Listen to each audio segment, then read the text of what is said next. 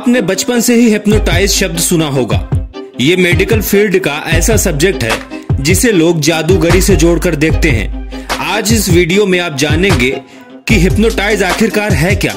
वास्तव में hypnosis hypnotise या सम्मोहन क्या है? इसके बारे में कुछ भी कह पाना वास्तविकता से कहीं अलग हो सकता है।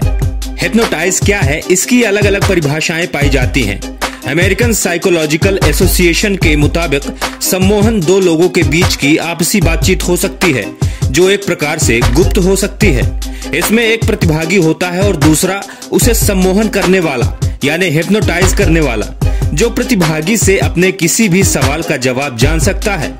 या प्रतिभागी के जीवन से जुड़ी सभी कड़ियों की कहानी उससे काफ़ी आसानी से सुन सकता है। वहीं हिप्नोसिस शब्द ग्रीक शब्द है, जिसका अर्थ सोना या नींद होता है। लेकिन हिप्नोसिस और स्लीप में अंतर है। जब हम सो रहे होते हैं तो हम कॉन्शियस रहते हैं।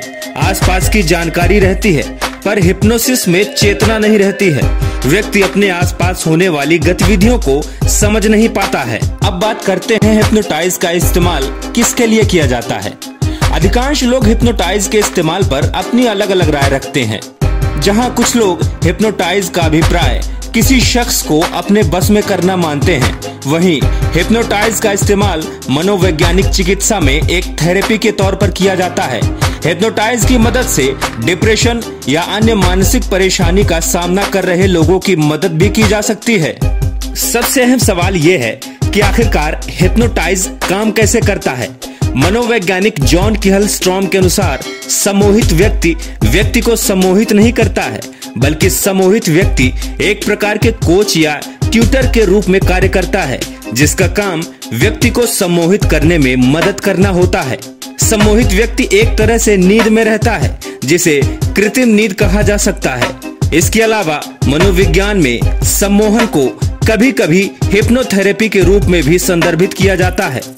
और इसका उपयोग मानसिक दर्द को कम करने और उपचार जैसे उद्देश्यों के लिए किया जाता है।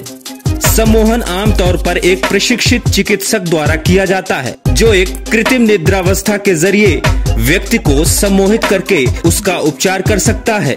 दोस्तों, आइए जानते हैं कि हिप्नोटाइज के पाँच अलग अलग स्टेज कौन कौन से होते हैं। स्टेज वन ये शुरुआती स्टेज होता है।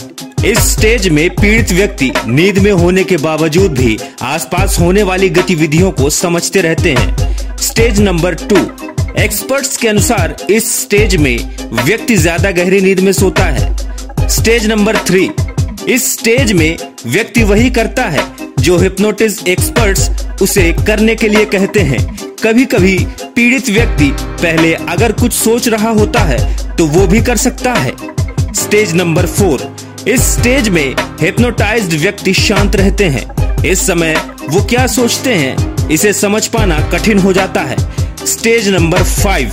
ये लास्ट और सबसे ज़्यादा एडवांस स्टेज माना जाता है। आइए जानते हैं हिप्नोटाइज से जुड़ी कुछ रोचक बातें। सोचने समझने में भ्रम होना। सिर्फ़ हिप्नोसिस एक्सपर्ट ही किसी को कोई हिप्नोटाइज कर सकते हैं। हिप्नोसिस को लोग जादू समझते हैं या ब्लैक मैजिक समझते हैं, लेकिन ऐसी धारणा गलत है। हिप्नोसिस की समस्या होने पर हिप्नोसिस एक्सपर्ट ही आपको ठीक कर सकते हैं। सामान्य व्यक्ति दिन में कम से कम दो बार हिप्नोसिस का अनुभव करता है। रिसर्च के अनुसार हिप्नोसिस की मदद से शारीरिक दर्द भी ठीक किया जा सकता है। हिप्नोसिस के कारण याददाश्त पर बुरा प्रभाव पड़ता है। हिप्नोटाइज की स्थिति में मस्तिष्क सामान्य से अलग रहकर काम करता है। ऐसी धारणा है कि हिप्नोटाइज ट्रांस की स्थिति से मनुष्य बाहर नहीं आ सकता है, लेकिन यह धारणा गलत है। हिप्नोसिस में हर व्यक्ति में अलग अलग तरह से वर्ताव करता है। आप खुद से अपने आप को हिप्नोटाइज नहीं कर सकते हैं।